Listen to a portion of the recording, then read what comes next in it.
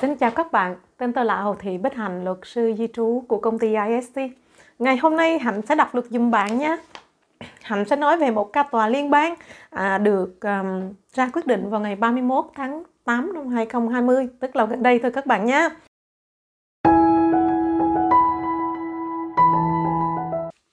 Ca tòa này là ca tòa mà anh tên là Marakov, người gốc à, Soviet Union và quốc tịch là đã từng giữ quốc tịch là Ukraine. Cái anh này ảnh à, có một cái gọi là anh có bằng công dân Úc và anh đã bị hủy cái bằng công dân Úc. Cho nên trong ngày hôm nay Hạnh sẽ nói đề tài đó là nếu bạn có bằng công dân Úc bạn có thể bị hủy hay không? Và câu trả lời là có. Cho dù lúc đó bạn không có một cái bằng công dân nước khác nữa. Tức là ví dụ nha, à, bạn có quốc tịch Việt Nam, bạn qua định cư Úc và ngay khi sau bạn ngay sau khi bạn có quốc tịch Úc, bạn có passport Úc, bạn liền hủy à, làm người công dân Việt Nam, bạn hủy cái passport đó và bạn xin từ chối cái quốc tịch Việt Nam. Thì cho dù như vậy ha các bạn cho dù như vậy nếu bạn phạm một cái lỗi gì đó rất là lớn và phải đi tù và sau đó um, di trú có quyền tước cái đoạt cái quyền công dân của bạn đi hủy cái quyền công dân của bạn đi. Và như vậy ngày hôm nay mình nói đến cái chuyện đó nha. Như vậy chuyện đó vẫn có thể xảy ra nha các bạn. Hành đọc đầu tiên hành đọc dữ liệu của cái ca này nha các bạn. Ảnh tên là Victor Marakov ok?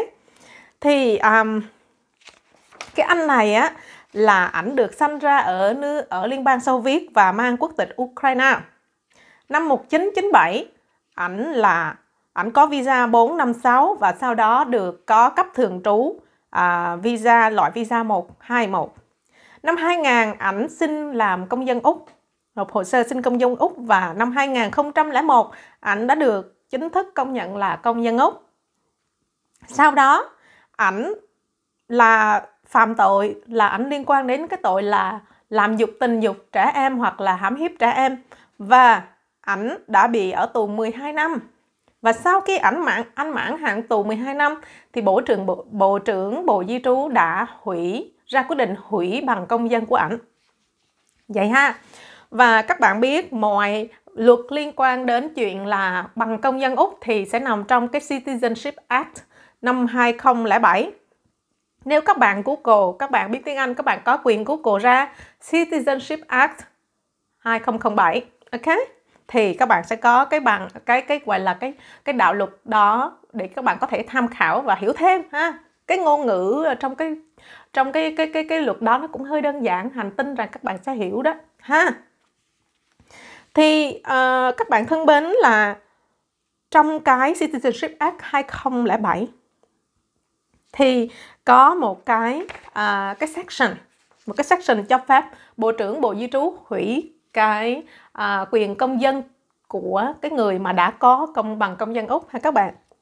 Điều khoản 34.2 nêu rằng Bộ trưởng có thể hủy cái bằng công dân Úc nếu cái người đó, cái người mà được cấp bằng công dân các, các bạn người đó vi phạm một cái gọi là serious offense tức là cái cái tội rất là rất là nghiêm trọng ha và cái tội đó nó làm cho bộ trưởng di trú tính rằng dự để người đó vẫn có cái quyền quốc tịch úc đó đó là nó trái lại với cái mối quan tâm với lợi ích của cộng đồng người úc.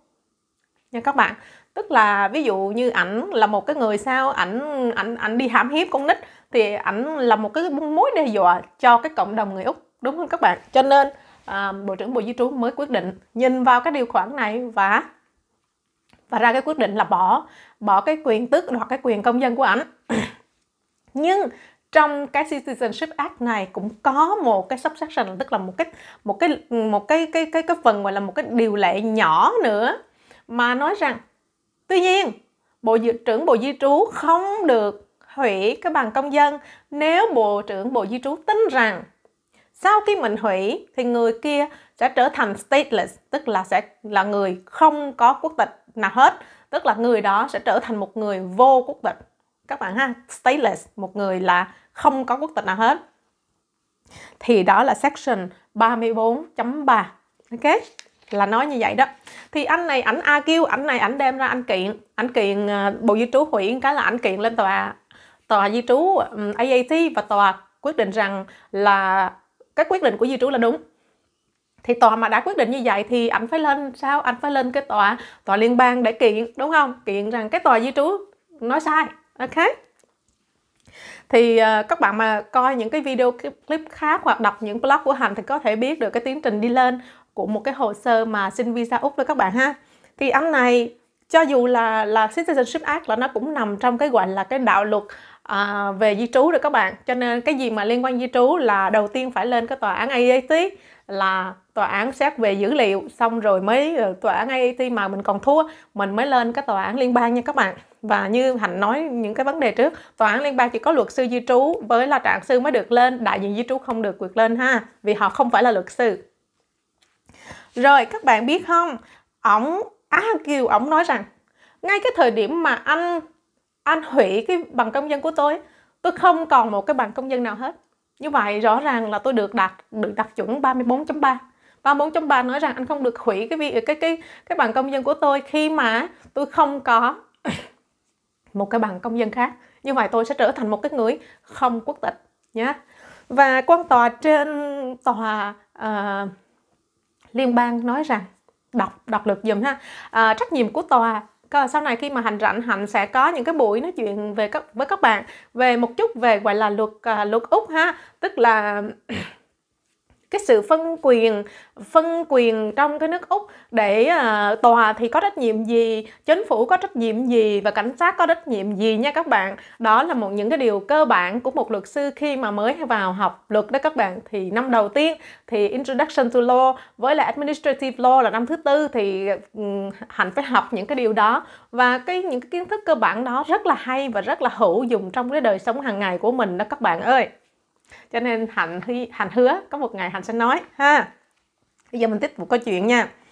Thì ảnh nói như vậy thì uh, quan tòa của bên uh, của tòa liên bang nói rằng cái câu mà nói rằng 34.3 đó đó nói rằng miễn sao di bộ trưởng bộ di trú y certify là nghĩ uh, thỏa mãn rằng cái người đó good would là trong tương lai đó các bạn would hoặc là rất là khó, rất là khó mà để mà ra cái chữ would đó. Là would become a person who is not a national or citizen of any country. Là miễn sao mà bộ trưởng bộ di trú tin rằng cái chuyện mà người này nó sẽ trở thành vô vô quốc tịch là cái chuyện mà không thể xảy ra cái cái chuyện đó. Nếu mà nó xảy ra là mình không được, mình không được hủy mà cái chuyện đó mà nếu như không xảy ra tức là dĩ nhiên anh sẽ có một cái quốc tịch khác ngay. Thì cái việc đó là ok. Như vậy cái chữ good của 3.4 này á, thì tòa nói rằng là nó mang cái tư tưởng là không phải là đòi cái bộ di trú phải chứng minh. À bây giờ anh à, có quốc tịch Ukraine, cho nên là tôi hủy cái công dân Úc, không phải. Mà chỉ cần bộ di trú tin rằng, tức là subjective view, tức là có một cái tư tưởng là tư tưởng chủ quan của mình đó các bạn. Ví dụ như hạnh nói là theo ý của hạnh, thì đó là tư tưởng chủ quan của hạnh, đúng không các bạn? Không có hề khách quan, đúng không?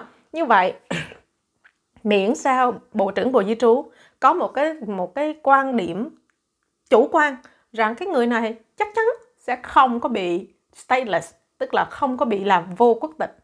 Như vậy như vậy miễn sao là như vậy thôi, không cần chứng minh là ngay cái lúc mình hủy, người ta phải có cái quốc tịch khác như vậy chính vì vậy mà tòa liên bang đã nói rằng cái quyết định của di trú và quyết định của ông con tòa trên tòa IAT là hoàn toàn đúng và anh này vẫn bị mất quốc tịch như thường. Ok? Thì bây giờ trở lại cái chuyện là mình ví dụ người Việt Nam mình đi cho nó dễ nghe cho nó dễ nghe dễ hiểu nghe các bạn. Một người Việt Nam ví dụ như à, à, mình có hai quốc tịch quốc tịch Việt Nam quốc tịch Úc mình nghĩ, ồ, để chắc ăn, tôi đi hủy quốc tịch Việt Nam đi, tôi còn quốc tịch Úc thôi. Bây giờ tôi mà bị một cái tiền án tiền sự gì nặng nặng nặng á, Úc nó không đuổi tôi về Việt Nam đâu. Không có nha các bạn.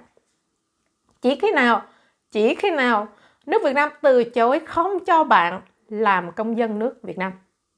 Và điều đó không phải là dễ xảy ra nha các bạn.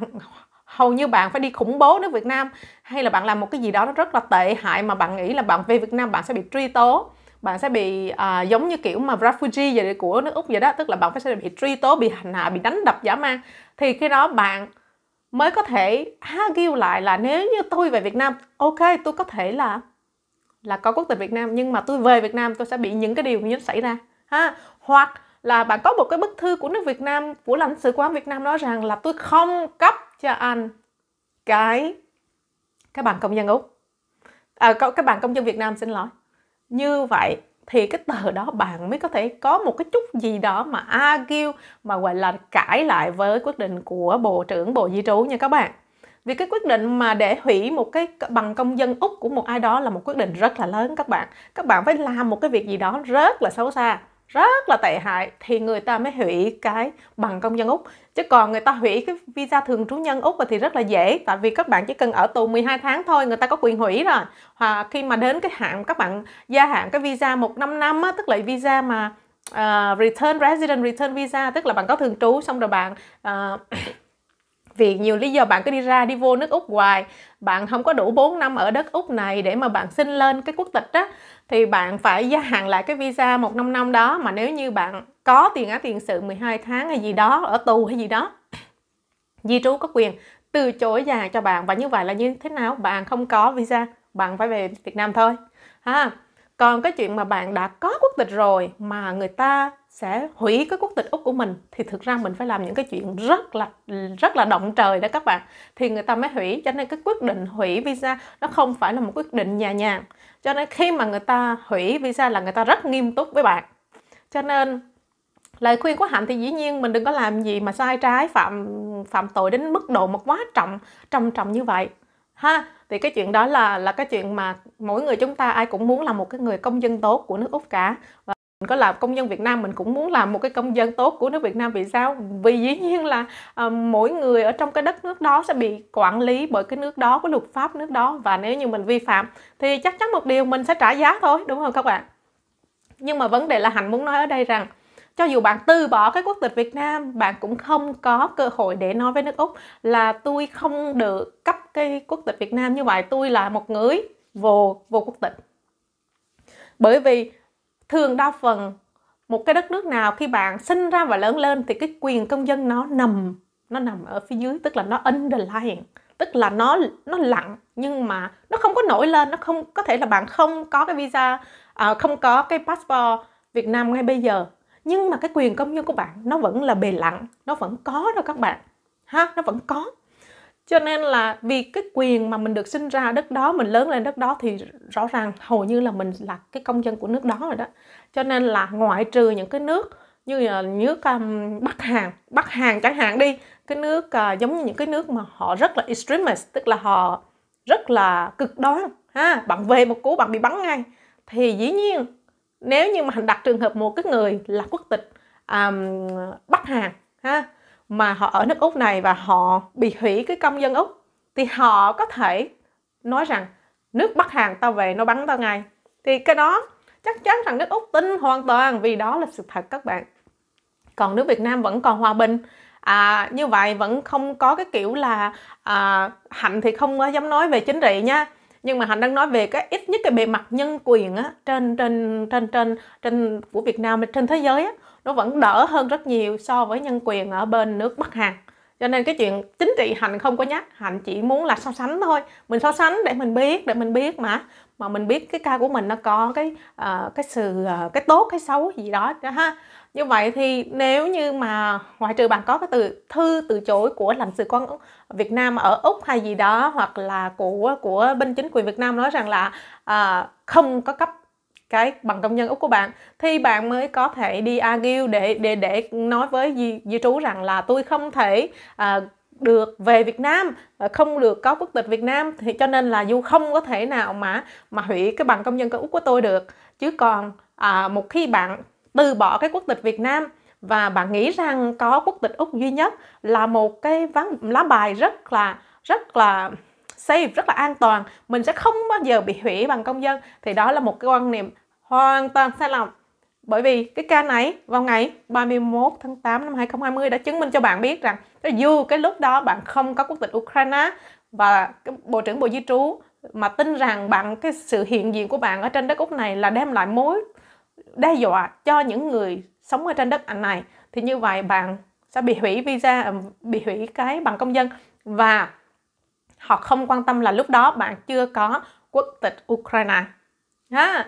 Và trên đây là hạnh đã tổng kết cái ca tòa của tháng 8 à, ờ, và các bạn có thể lắng nghe những cái video khác và hạnh sẽ chia, hạnh luôn luôn chia sẻ những cái ca tòa từ nay trở về sau hạnh ngoài cái um, những cái ca visa của công ty hạnh làm việc à, và những cái bản tin di trú từng tháng để mà cập nhật trong cái thời covid 19 này cho các bạn thì hạnh cũng sẽ cố gắng nói những cái cái ca tòa mà thú vị như thế này nè để các bạn có những kiến thức thông thông dụng và à, để mà hiểu được hơn một chút về luật di trú úc và xin chân thành cảm ơn các bạn đã chú ý lắng nghe Xin chào các bạn, tên tôi là Hồ Thị Bích Hạnh, luật sư di trú của công ty IST.